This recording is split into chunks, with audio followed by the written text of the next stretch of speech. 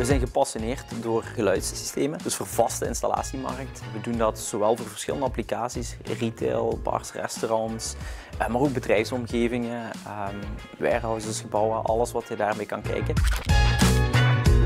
Ja, als geboren en getogen Hasselaar uh, zijn we best trots dat we hier uh, gevestigd zijn. Uh, we hebben er natuurlijk onze roots ook, zowel de eerste generatie als de tweede generatie. En toch zijn we tegelijkertijd trots dat we over 112 landen gaan op dit moment.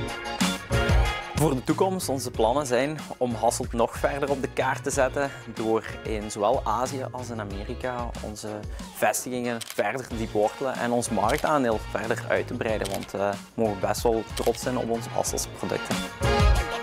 Vorige week lachte ik met de collega's omdat mijn bureau ben ik aan het verbouwen. Ik heb er een kast gezet en ik zeg, laat de awards nu maar komen. Dus ik ga heel fier uh, vandaag uh, ja, verder rijden naar collega's en, uh, en de awards zetten op mijn kantoor waar we een kast speciaal hebben voorzien.